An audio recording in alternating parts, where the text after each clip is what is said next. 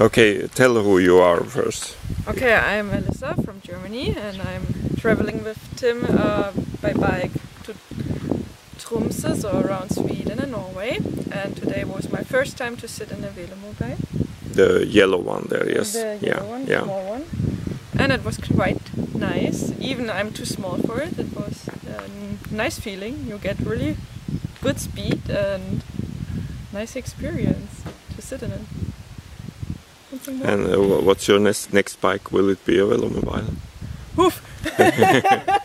uh, maybe. Uh, first, I will go more with that around uh, to save money. but maybe uh, for the distance to go to work, it's a good idea to think about it. It's quite nice. Yeah.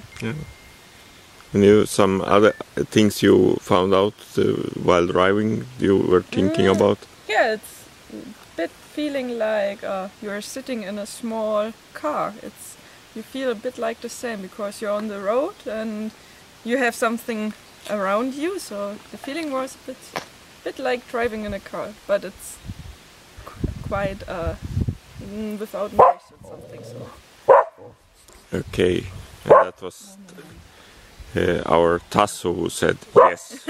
yes. is- Okay, thank you for trying, Lisa. Thank you. yeah, you're welcome.